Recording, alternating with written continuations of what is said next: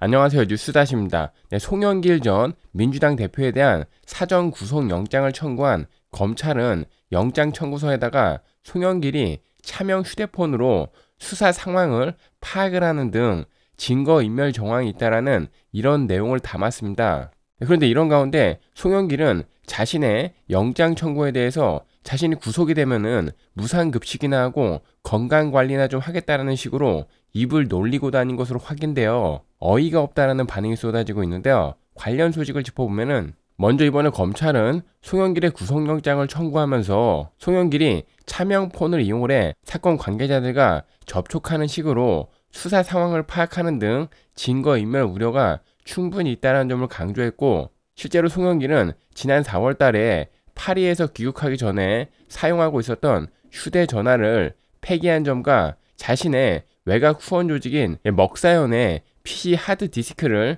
교체한 증거인멸 정황이 있습니다. 네, 이를 두고 법조계에서는 송영길에 대한 구속영장 청구는 당연하다라고 보고 있으며 예, 그의 구속 가능성도 높게 보고 있는데 예, 검찰에 따르면 송영길은 당대표로 선출이 되고 나서 2021년 민주당 전당대회를 앞두고 송영길 경선 캠프에서 민주당 현역 의원 20명에게 돈봉투 20개를 전달한 것으로 확인되었고 또 2021년 3월 30일과 4월 11일에는 캠프 지역 본부장들에게 돈봉투 650만 원이 제공된 것으로 조사되었습니다. 또 이뿐만이 아니라 송영길은 2020년 1월에서 2021년 12월 먹사연을 통해 불법 정치자금을 무려 7억 6,300만 원을 수수한 혐의를 받고 있고 또 이 가운데 인허가 관련해 가지고 청탁까지 받은 것도 확인되고 있는 상황인데요. 다음또 뭐 검찰 측에서는 이거저거 다 합쳐가지고 송영길이 현재 받고 있는 혐의의 혐의액이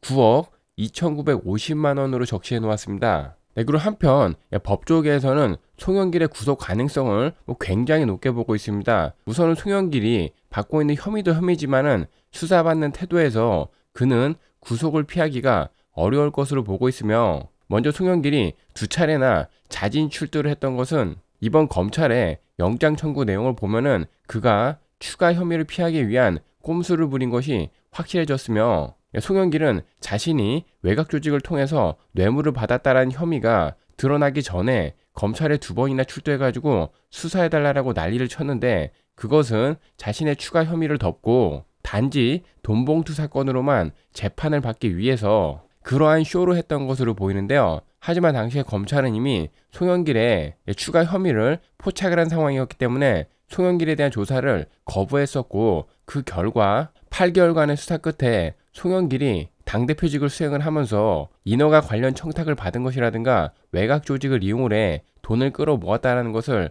수사를 통해 지금 어느 정도 밝혀낸 상황이라고 보고 있습니다. 또 이뿐만이 아니라 송영길이 검찰 조사에서 묵비권을 행사한 점도 구속 가능성을 높이고 있다라고 보고 있습니다. 우선은 묵비권을 행사한다는 것 자체가 검찰 조사에 대한 반박 논리가 없다라는 것이라고 지적을 하고 있으며 송영길은 검찰 조사를 받기 전에 묵비권을 행사하는 것이 자신의 그리고 국민의 헌법적인 권리라고 주장을 했지만 형사사건 전문가들은 묵비권 행사가 헌법상의 권리는 맞긴 한데 일반적인 사람들이 이거를 안 하는 이유가 있다라고 설명을 하고 있고 간단하게 본인에게 불리하기 때문이라고 이야기합니다. 예, 당연한 얘기지만은 묵비권을 써가지고 구속을 피하고 죄가 없어질 거면은 개나 소나 다 묵비권을 쓸 것인데 예, 그리고 송영길의 주장대로 검찰 수사가 잘못되었고 정치적인 수사이면은 조사 과정에서 적극적으로 소명을 해가지고 검찰의 주장을 검찰의 논리를 깨는 것이 그에게 유리한데 예, 그리고 이를 통해서 불송치라든가 무혐의로 갈 수 있는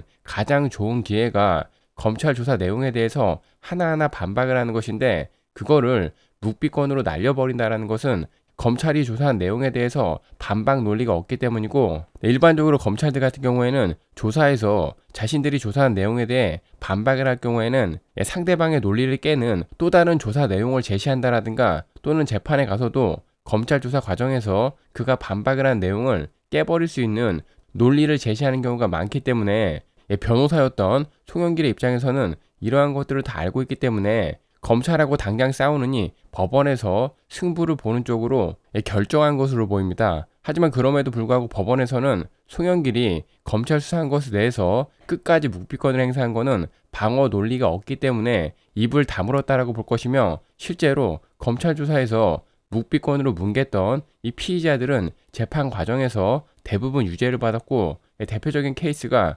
조국으로서 얘도 송영기라고 똑같이 검찰 조사 받기 전까지는 입을 그렇게 놀리다가 검찰 조사에서는 묵비권을 행사했지만 1심에서 징역 2년의 유죄를 받았습니다. 그리고 또 이뿐만이 아니라 지금 송영길이 하고 있는 행동도 그의 구속 가능성을 높이고 도덕적으로 문제가 있다라는 지적이 쏟아지고 있는데 송영길은 자신의 방송에서 검사가 자신의 집 압수수색을 올 때 주변 사람들 괜히 스트레스 받게 하지 말고 구속영장을 자신에게 가지고 와라. 무상급식을 내가 받으러 가겠다라고 이야기했으며 몸도 안 좋은데 몸 좀 관리하게 갈 테니까 구속영장을 가지고 오라라고 검찰에게 이야기했다면서 검찰을 조롱을 하고 검찰 수사를 비판을 했습니다. 하지만 송영길의 이런 태도에 대해서 많은 분들이 어이가 없다면서 아니 지금 죄를 지어가지고 수사를 받고 있는데 자신이 수사를 받은 것을 무슨 무용담을 늘어놓듯이 자랑을 하고 있는 게 말이 되는가라고 지적을 하고 있고 또 구치소가 송영길의 건강 관리해주는 수련원이라든가 이러한 곳도 아닌데 반성을 해도 모자랄 판에 집권 여당의 당대표였던 사람이 범죄 혐의로 수사를 받는 것을 저렇게 당당해도 되는가 어이가 없다라고 지적을 하고 있으며 민주당 진영의 정치인들은 조국 사태를 기점으로 아예 부끄러움이라든가 도덕실이 상실했다라는 비판이 나오고 있고 송영길 말대로 구치소에 가가지고 밥을 먹으면은 그게 전부 다 국민들의 세금인데 국민들이 범죄자들 건강 관리하라고 피 같은 세금을 내는 것도 아닌데 국민들의 혈세를 저딴 식으로 쓰게 만들면은 책임 있는 정치인으로서 미안해하고 머리를 숙여도 모자랄 판인데 무상급식 드립이나 치면서 저딴 발언을 하고 있는 것이 어이가 없다라는 지적이 쏟아지고 있습니다. 나또 송영기 같은 경우에는 평생을 국민들 혈세 빨아먹고 살았던 인간이라 국민들 혈세에 기생하는 것에 대해서는 뭐 아무런 부끄러움을 느끼지 못하는 것 같습니다. 또 이뿐만이 아니라 송영길은 검찰이 영장을 청구했다는 소식에 자신이 반려견을 끌고 다니면서 짜장면을 먹고 다니는 것을 인증샷을 올렸고 검찰의 구속영장을 기각시킬 자신이 있다면서 여유를 부리고 유튜브 라이브 방송에서 현 정권을 탄핵을 시켜야 한다는 등의 말 같지도 않은 소리를 쏟아내고 있는데 정치권과 법조계에서는 송영길의 이러한 행동이 법적으로 안 되니까 정치적 돌파를 시도하고 있는 것이라고 보고 있으며 송영길의 이러한 행동이 조국 사태와 이재명의 민주당 이후에 타락한 86 운동권 정치인들과 민주당 정치인들의 민낯을 보여주는 모습이라고 지적을 하고 있습니다. 나도 뭐 송영기 같은 경우에는 지금 자신이 받고 있는 범죄 혐의들에 대해서 이게 뭐가 중대한 범죄라고 검찰이 수사하고 이 난리를 치는가라고 이야기하고 있지만 일반적인 국민들은 선거에서 돈봉투가 돌아다녔다라는 것에 경악을 하고 있으며 이번 사건이 중대한 사건인지 아닌지는 곧 있으면 법원이 판단할 것이라고 생각이 됩니다. 이번 소식은 여기까지 하겠습니다.